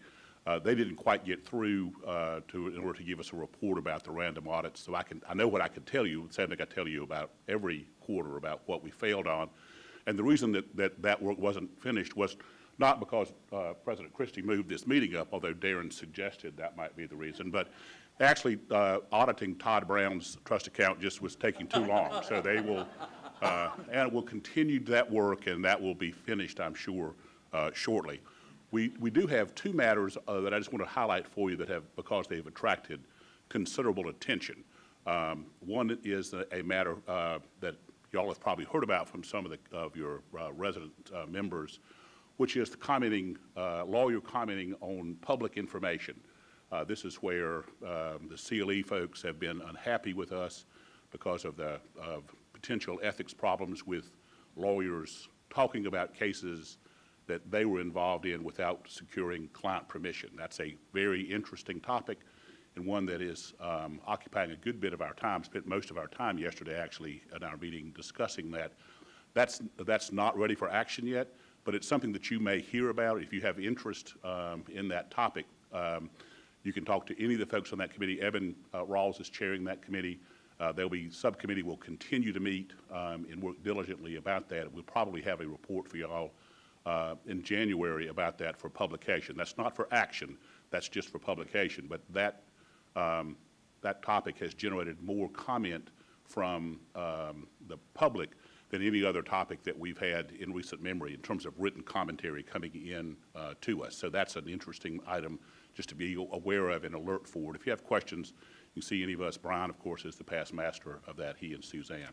The other item that attracted a considerable amount of attention, and this attention really came more from counselors than from the public, is that um, we were alerted to an issue, and it's highlighted on your agenda, with the amendment that deals with uh, uh, lawyers having sexual relations with their clients. This is really not about that topic as much, because we've dealt with that one pretty explicitly. It's about the exchange of explicit material between counsel and client. Um, And we have some uh, situations where lawyers have actually tried to solicit information, uh, illicit photographs from clients, and there's actually no rule prohibiting that. And so there's a committee that is working on that. Um, Carmen and Brian have jointly working on that between grievance uh, and ethics. And I had more volunteers for that subcommittee than any subcommittee we've ever put together. So uh, if you have interest in uh, joining that by Zoom, um, I'm sure we can make arrangements uh, for that. Um, But, uh, Madam President, we have no action items. That's the report uh, of the Ethics Committee. Thank you. Any questions for David? Thank you.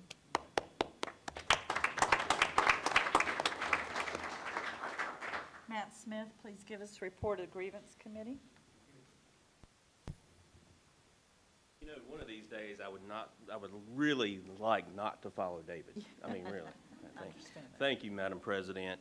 Uh, Speaking of David, while he and his committee were lounging around the hotel yesterday, the grievance committee came over here and did some hard work.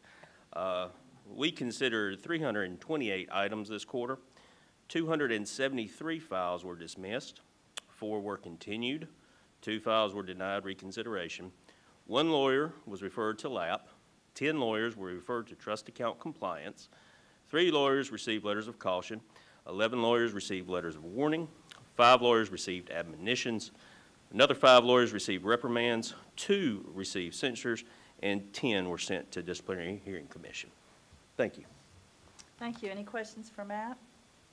All right, thank you, and thank you to those members of the Office of Counsel that are here. All right, I will turn it over now to Marcy Armstrong for the report from the Issues Committee.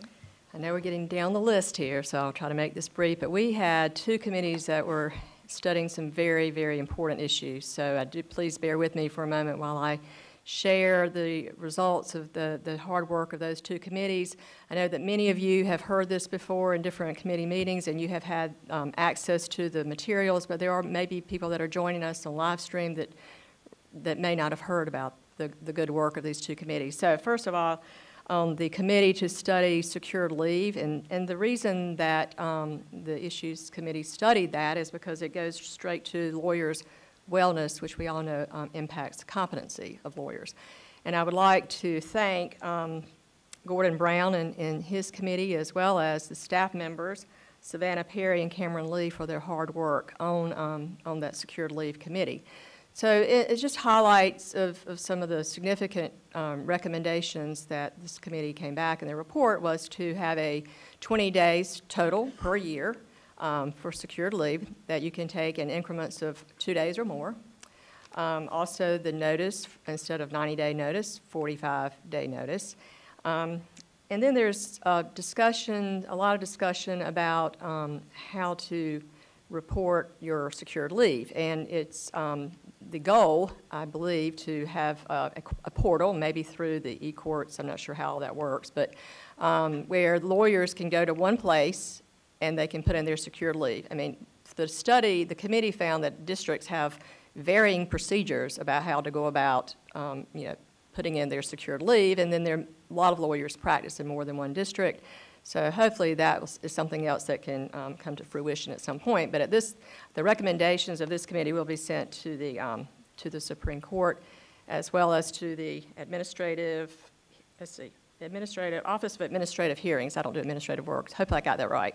So anyway, thank you again for that good work, and hopefully um, we'll see some of those recommendations adopted. Um, The other committee that did a impeccable job. I just can't think of the word to describe that. It was the committee to study the compensation of court-appointed counsel, and that committee was led by Alan Cobb and staffed by Alex Nicely and Jennifer Slattery, and again, they did, did a fabulous job. And the product is something that I think the committee and the, and the bar, uh, state bar can be very proud of, and that is a report that is in your materials, and this report, um, just makes um, various recommendations about a very it's a serious problem. And, and I would like, I can't say it any better than the closing remarks in the reports. I'm going to read that again for the people that are hearing this in live stream so you'll understand just how important this issue is.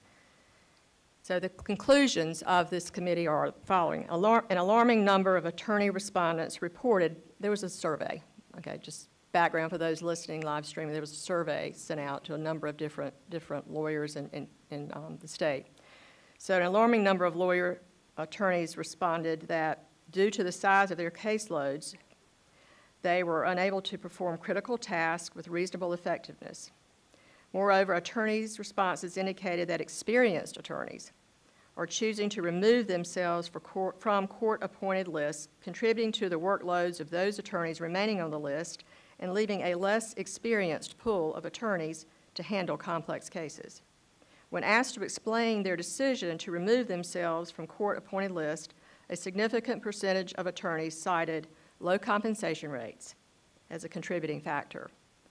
Based on the results of this survey, the committee is concerned that excessive caseloads may be hindering the ability of court-appointed counsel to effectively represent their indigent clients.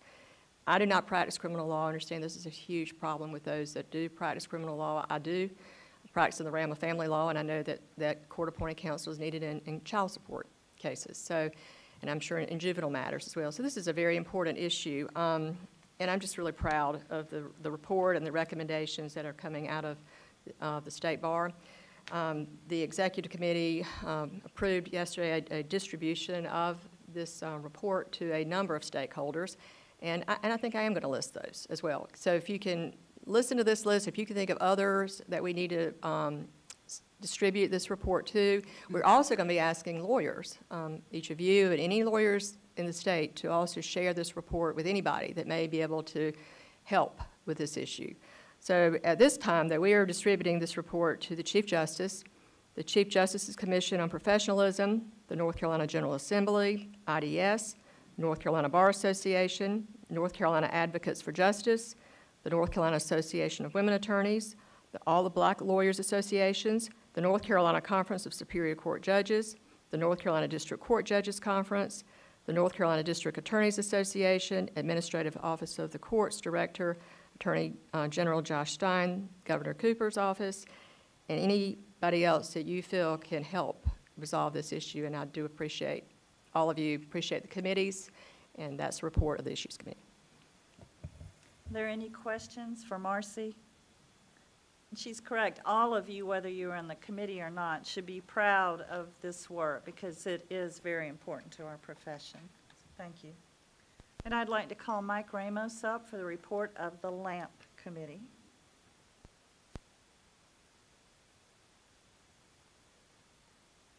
There you go.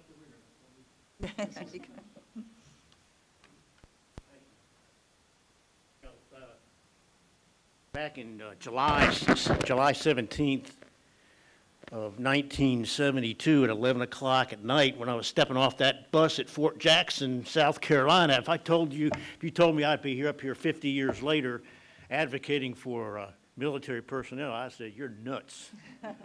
But it, but it sticks with you. Uh, I'm the chairman of the LAMP Committee. We've been working really hard. We met last week uh, via Zoom.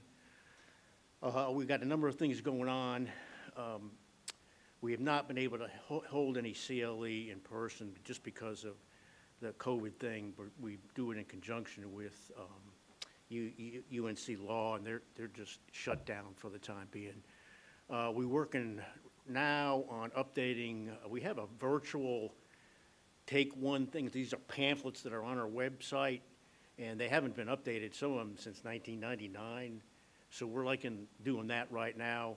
I- I'd like to take this opportunity to really thank the advisory members of the LAMP committee. uh, who um, outnumber the counselors, really. And without them, we really couldn't do this, because while the, you know, the element, the areas of law kind of basic, family law, wills, and that kind of stuff, when you get into that military environment, it gets really weird. And if you really want to have your head explode sometime, come and listen to Mark Sullivan talking about the equitable distribution of military pensions. That'll get your attention. So I'd like to really thank the, the advisory members, of course, Jennifer Porter, who is our staff liaison, but especially Mark Sullivan, uh, Mike Archer, uh, Burn Shields, who does our, uh, our web, our website. So hopefully we'll have a report for you in January that we've got this all done. Thanks. Thank you, Mike.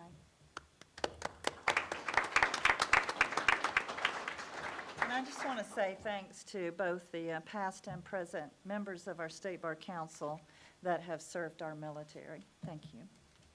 Um, Warren, you want to come up and give us the report of the Distinguished Service Award?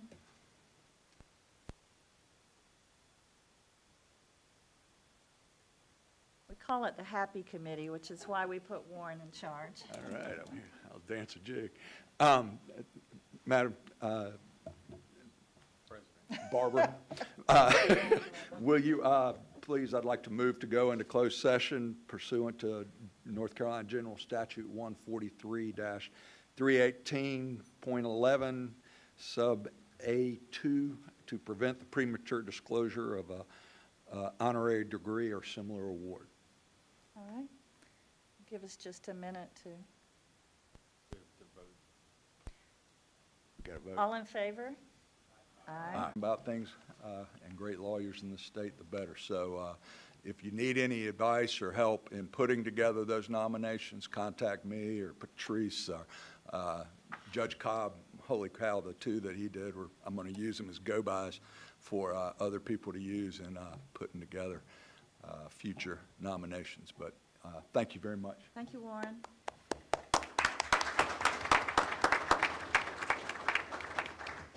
And uh, before I pass the figurative gavel to Darrin Jordan, I just want to express my appreciation to soon-to-be past-past president, Colon Willoughby, and to say how much you'll be missed up here. Maybe just stand with him now.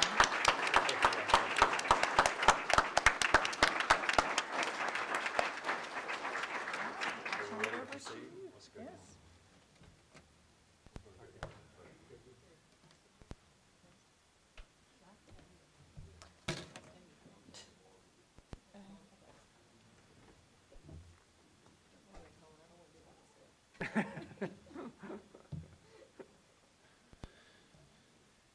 I'll try to be as solemn as I can. If I look like I'm jiggling my legs, it's because I've been drinking water up there for two hours. It's been a long I'd like to have a motion to uh, recess. I think they call it a, a personal privilege. I think that's what we call it in court. Um, So Barbara, the, uh, the rest of the officers and I met, and we couldn't figure out whether we wanted to do the resolution or have David Allen sing the Barber Bunch. I think we voted for the resolution, is that right? Because we've heard David sing before. So, okay, now the solemn part. This is a resolution of appreciation for Barbara R. Christy, our president.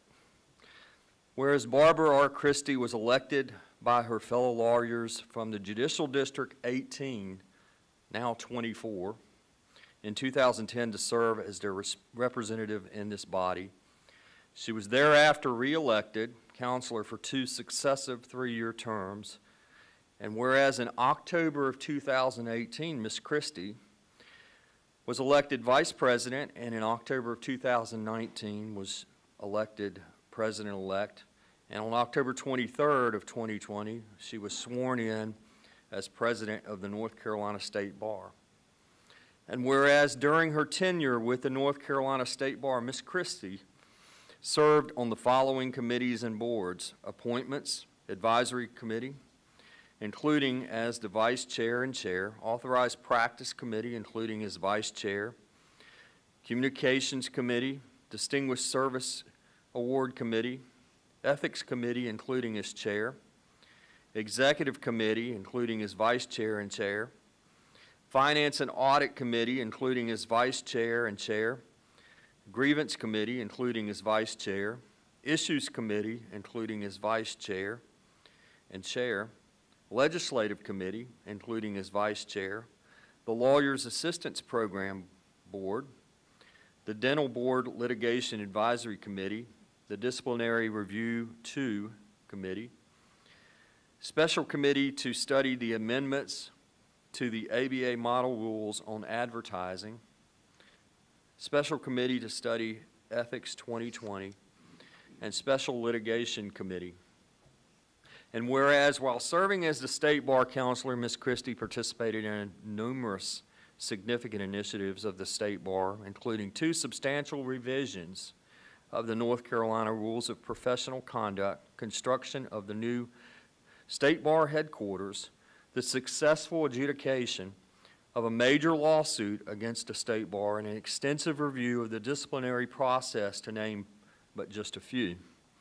And whereas Ms. Christy demonstrated tremendous grace, patience, and good humor in accepting the vicissitudes of her presidential year, which began during a global pandemic that made face mask, social distancing, distancing, and size limitations on indoor gatherings public health priorities and necessitated the conversion of the October 2020 annual meeting from in-person to online.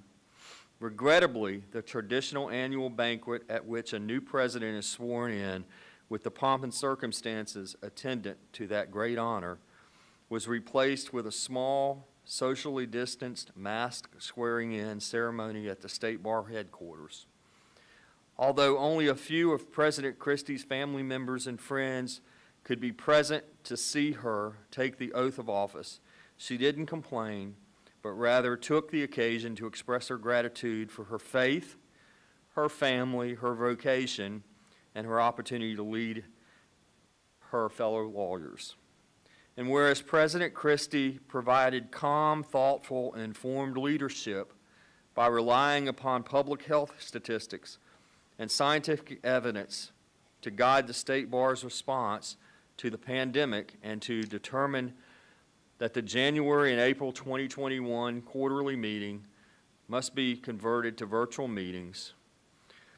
And whereas President Christy fulfilled one of the key responsibilities of her office by continuing and building upon the undertakings of her predecessor, including the facilitation and expansion of the following unprecedented initiatives, the study of regulatory changes that have the potential to improve access to justice for those who are financially unable to afford legal representation, the exploration of ways to improve diversity, inclusion, and equity in the profession and in the agency itself, studies of the intersection of lawyer competency with the court's secured leave policy, and the caseload and compensation of court-appointed attorneys.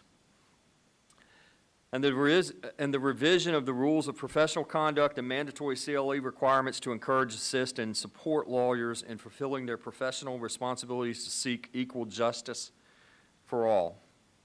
And whereas to ensure that all state bar leaders have a better understanding of the role and responsibilities of the state bar, President Christy fostered an atmosphere of collaboration among the leaders of the council, including officers and committee chairs. And whereas during the unique circumstances of her presidential year, President Christy was an unerringly and supportive of the members of the council and of the state bar staff and was the epitome of leadership from a place of quiet strength and persuasion by force of character and understated diplomacy. Now, therefore, be it resolved that the Council of the North Carolina State Bar does hereby and with deep appreciation express to Barbara R. Christy its debt for her personal service to the State Bar, to the people of North Carolina, to the legal profession, and for her dedication to the principles of leadership, integrity, professionalism, and equality. Be it further resolved that a copy of this resolution be made a part of the minutes of the annual meeting of the North Carolina State Bar, and that a copy be delivered to Barbara R. Christy.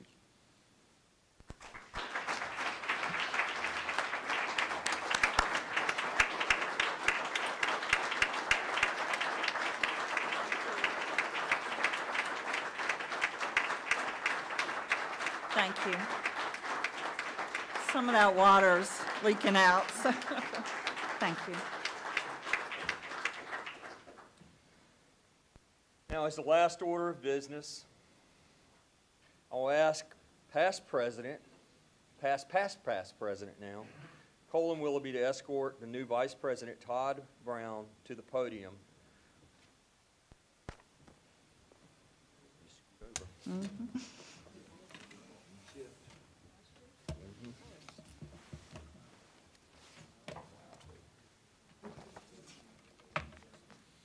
This way, this way.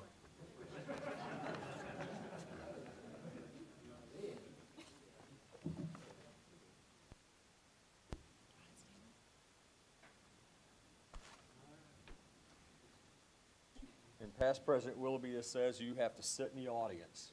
Thank you. Let's welcome Todd Brown.